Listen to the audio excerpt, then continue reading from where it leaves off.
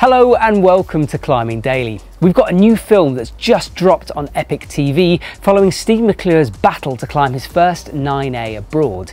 We caught up with the filmmaker Euan Ryan and Richie Patterson to find out a bit more about making the movie.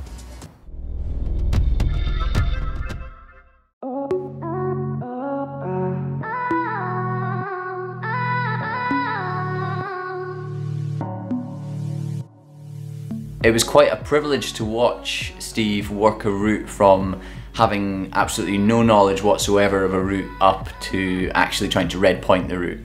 Um, usually as a filmmaker when you come and film um, an ascent or an attempt at an ascent at red point, you tend to come in where the climber has already been working the route for, you know, however many months or years and so they tend to know pretty much exactly what their beta is, they know exactly what they're going to try and do.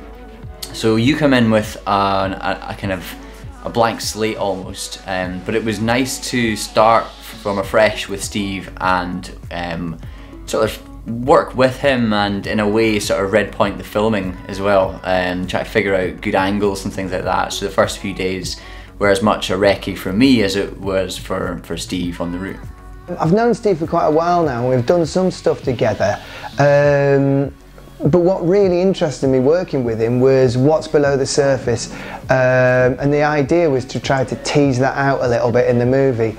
Because all I've ever known about him is what's in the magazines or what's in films. And I've, I've kind of always felt that it hasn't got over the, the true nature of the guy. I wanted the wider public to get more of a sense of what drives him and where he's come from.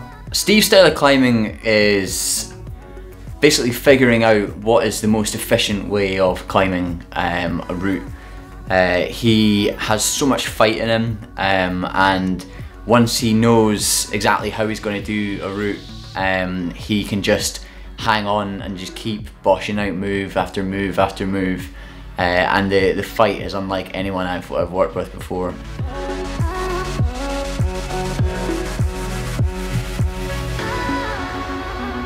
He was only out here a week, so the time pressure was intense. So I think the most important thing he was able to do was process the information really, really quickly and each day make progress. Um, obviously, I'm not going to give away the ending, but it was incredibly interesting to watch him take what is a very very difficult route and break it down into sections so that he was able to kind of conquer a certain part of it every time he went on it. And uh, I think that was essential for him to, um, to be able to stay positive and make progress um, within an incredibly short time span. Despite what Steve says, uh, he is really strong. Um, he has like the, the, strongest fingers I've ever seen. Um, there's a move in this uh, in this climb, uh, clandestino, that um, Steve's trying in the movie, um, which is one of the crux moves for the, the, few other guys who've been working the route and it's just the smallest little sort of two finger stacked pad thing. And apparently we didn't see anyone else on it but Richie said that when these guys tried it that move was just so stopper for them. They tried so hard and every single time like holding that hold was just really really difficult.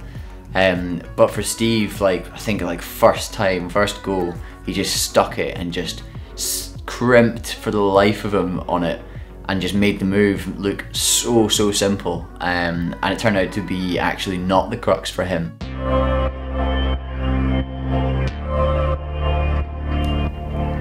You don't really hear about when professional climbers have maybe a bad day or unfortunate incidents that actually do change the path of their career and change them as a person.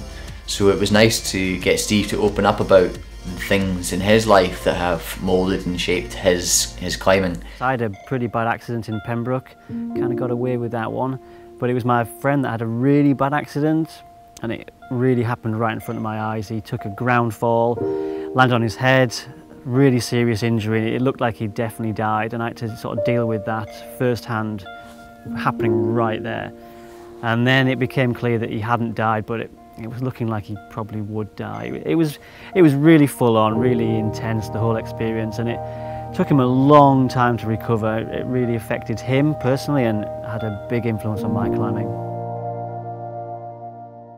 A lot of the film is sort of biographical, autobiographical, Steve talking about his life, and we kind of hoped that we could fit the Red Point footage um, working uh, clandestino around the stories in his life and sort of chapter the sections of his life and the key moments that make him who he is. I, you know, 47 years of experience can be put together to try a challenge like this and it's kind of unlocking the key moments in those 47 years that brought Steve to the point where he can put up, uh, you know, in Britain's first 9B, he can do, you know, all these eight, all these 8As and above that he's climbed, something like 800.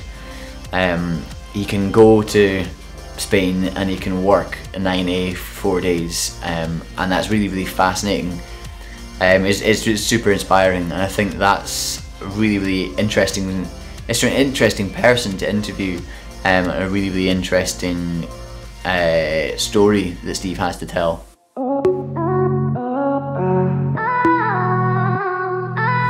Northern Spain's amazing. I mean, obviously, I moved here and I wrote the guidebook, the Roca Verde guidebook, so I'm a bit biased, but it's a place that the rock is still unpolished, untouched. There's so many new routes to do. I mean, this 9A that we brought him to do was only opened like three or four years ago. I think both myself and Steve probably overlooked um, Teverga and Asturias. Um, as a region for, for sport climbing. Uh, and to be honest, when I got there, I was totally gobsmacked. There's so much rock everywhere. There's so much, um, there's so much potential as well. Everywhere you look is a perfect limestone wall. Um, the rock is really good quality. Uh, there's a little bit of cleaning needed for developing new crags as always, but um, the established lines already are absolute classics.